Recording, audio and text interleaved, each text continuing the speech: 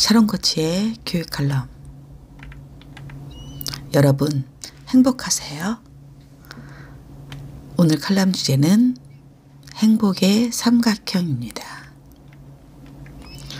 강남, 그것도 대치권 생활 29년 차.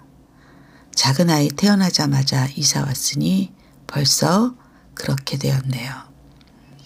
그동안 강남의 외형은 많이 바뀌었지만 사는 사람들의 마음은 큰 차이가 없는 것 같습니다.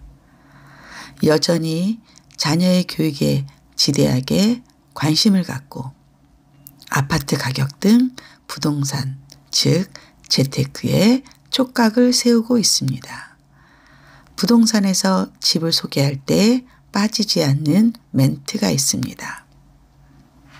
이 집 학생이 서울대 갔어요. 장가님이 사셨던 집입니다.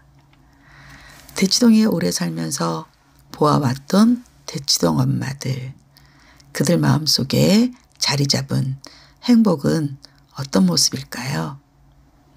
사람마다 다르고 시대에 따라 변하기도 하겠지만 샤론 코치의 시각으로 대치동 행복의 삼각형을 정리해 봅니다. 삼각형의 세 변은 교육, 돈, 명예입니다. 교육은 자녀의 입시를 말하고 돈은 재테크, 증여, 유산 등 부의 성장을 말합니다. 명예는 남편의 직장, 직위 등 일명 있어 보이는 명함을 말합니다. 그런데 이는 집집마다 다릅니다. 아이들 공부는 아주 잘하는데 전세 계약이 끝나면 이사해야 하는 집. 엄마가 재테크를 잘해서 경제적으로 풍족한데 아이 공부는 영 시원찮은 집. 강남 곳곳에 건물 몇 개가 있는데 있어 보이는 명함 앞에서 기가 죽는 집. 삼각형의 세변은 이렇듯 제각각입니다. 교육, 돈, 명예의 세변이 동일한 집이 얼마나 많이 있겠습니까? 그래서 다들 부족한 변의 길이를 늘리기 위해 끊임없이 노력하나 봅니다.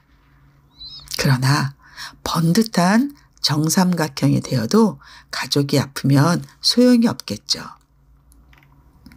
그 엄마 있지? 아들 서울대 보내겠다고 초등 때부터 애쓴 엄마. 친하지는 않아도 얼굴 정도는 알고 있던 엄마인데 아들 대학 입학을 앞두고 큰 병에 걸렸다고 지인이 전해줍니다. 가슴이 무너집니다. 열심히 달려오기만 했는데. 삼각형의 내부에는 건강이 있어요. 건강이 가장 중요한 것입니다. 실제 대치동에는 시부모님의 병원 순례를 책임지는 며느리도 많고 친정 부모님의 병수발을 위해 형제끼리 요일을 정하는 집도 많습니다.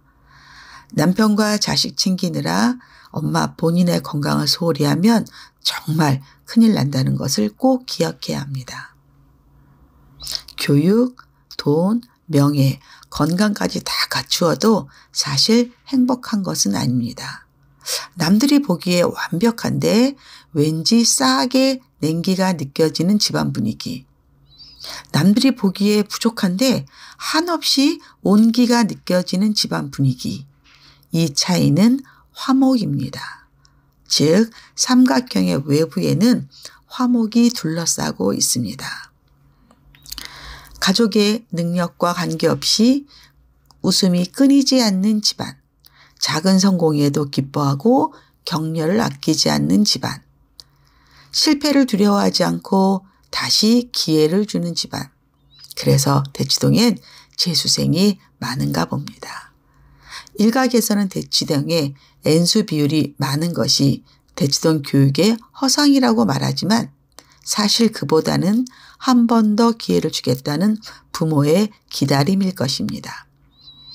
인생을 길게 보는 회원과 경제적으로 뒷받침할 수 있는 여유. 화목한 가정에서 인재난다. 샤론 코치가 항상 강조하는 말입니다. 여러분 행복하세요?